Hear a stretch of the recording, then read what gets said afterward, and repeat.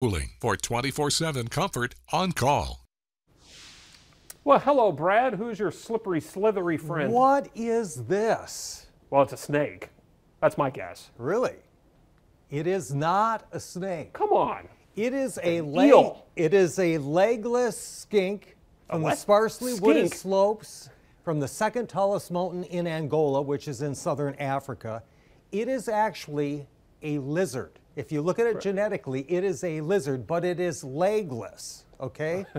It is one of 153 new species that were discovered by scientists in 2023. You may remember we did this story last year Right. for 2020, and we'll get to that in just a Okay. moment. But first of all, here you go. Here's what they found this year 66 unknown spiders, 20 sea slugs. That's going to make a lot of people very nervous. Right. 18 plants, 13 sea stars, 12 geckos, 10 beetles, 5 fishes, 4 worms, 2 wasps, a sea snail, a scorpion, and the legless skink, which uh, we just saw. Uh, and a partridge? Okay. Almost a good, good one, Chris. And then here was last year's list. Hey, we beat last year.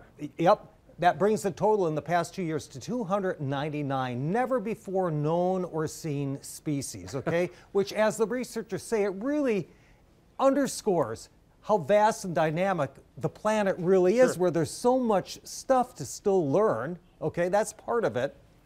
And also that they must document this stuff because it's essentially threatened. It- it's not a very large population Mm-hmm. in most instances to begin with, and then you've got pollution, you've got global Sure. warming, you've got you know every loss of habitat, just all, all the. So it's important, Chris, because there are things that are important to our lives that come from plants and animals, Sure. including medicines. Who knows what cure may reside in some of these things? So that's why it's important to document it before it's gone. Right. Okay. So the skink could prove to be valuable, is what you're saying. I would could. love to know who came up with the word skink. It is an interesting uh, thing. If the computer will cooperate, and I Come on, suspect computer. that it may jump ahead on its own, which is always frightening. There it is. There it is. Chimpanzees.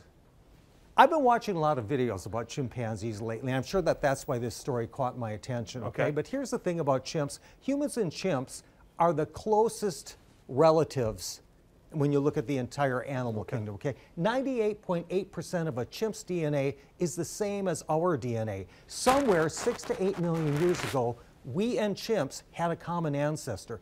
Hasn't been found yet, but we did. Okay. Okay, and I've been watching these videos because their behaviors are so much like ours. I saw this video, Chris, and you've got to listen to this. It was some tropical setting, you could tell by the foliage. This guy's sitting at a table with a bowl of soup. He picks up a piece of bread, dips it in the soup, eats it, dips it again, eats the bread, pushes the bowl to the chimp, lays the bread on the table, and the chimp picks up the bread, dips it in the soup. Mirrors. You know, you know, it's really remarkable. I mean, maybe it was rehearsed, maybe Sure. it was trained, who knows? But if it was just on the fly, remarkable. Right. Okay. So here's another one of those remarkable stories about chimps, if the computer will cooperate, and it probably won't. so I'll tell you what the story Okay. is. Okay. These chimps and bonobos are able to recognize faces they haven't seen for decades.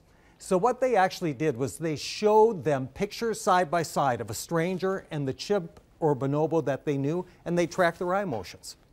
And they would spend significantly more time looking at the chimp or the bonobo they knew from their past. In one instance, the chimp hadn't seen that chimp for 28 years and still recognized it. And if they couldn't remember the name, then I know we share DNA because that happens to me all the time. Yes.